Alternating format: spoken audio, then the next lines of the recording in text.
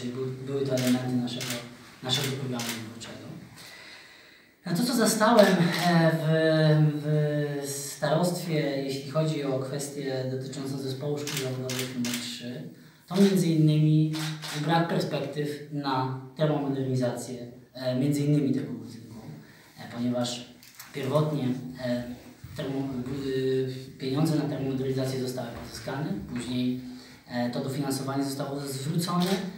E, Następnie e, powiat e, wystąpił z kolejnym wnioskiem o termomodernizację i przykra wiadomość sprzed kilku tygodni, te, tej termomodernizacji niestety się nie doczekamy. Regionalny program operacyjny w tym zadaniu wyczer- wyczerpał alokację środków na, na tym zadaniu, więc jakby problem jest istotny, pozostaje i, i, i musimy się z nim mierzyć.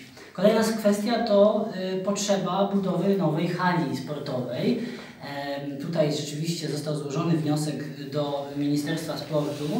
Natomiast koszty wykonania tej hali nowej, Szanowni Państwo, to jest około, projekt to jest około 10 milionów y, według tych y, kosztorysów, które na chwilę składania wniosku były przygotowywane. W tym e, blisko 6 milionów e, wkładu własnego, e, który powiat musiałby przeznaczyć na, na wkład do tego, do tego projektu. E, Podkreślam, takich pieniędzy na razie nie ma.